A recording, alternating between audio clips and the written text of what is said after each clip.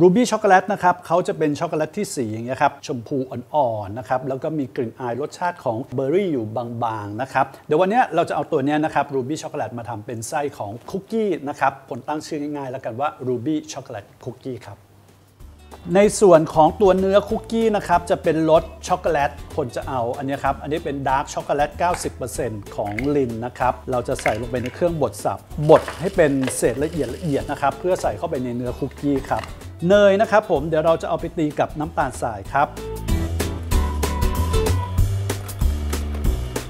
ไข่ไก่หนึ่งฟองครับ แล้วก็ตีให้เข้ากันครับ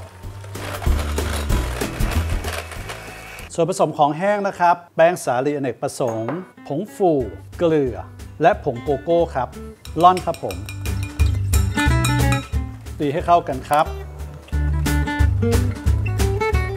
ใส่ช็อกโกแลตที่เราสับไว้ลงไปนะครับ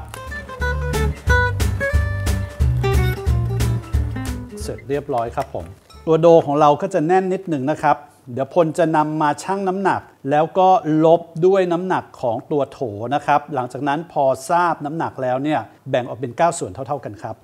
เสร็จเรียบร้อยนะครับ โดของพลก้อนหนึ่งอยู่ที่ 42 กรัมครับ เดี๋ยวเราก็จะปั้นนะครับให้เป็นก้อนกลม อบที่ 180 องศาโปรแกรมไฟล่างไฟบน 11 นาทีครับ ทันทีที่ออกจากเตาอบนะครับ กดให้หมุนทันทีครับ หลังจากนั้นครับพักให้เขาเย็นลงบนถาดอบนี่แหละครับช็อกโกแลตตัวนี้นะครับหลังจากที่เราละลายแล้วเราอยากจะให้เขาเซตตัวง่ายๆนะครับเราใส่น้ำมันพืชลงไปเล็กน้อยครับ น้ำร้อนนะครับผลลดไฟครับผมนำช็อกโกแลตขึ้นไปวางนะครับ ใช้ไฟอ่อนๆครับผม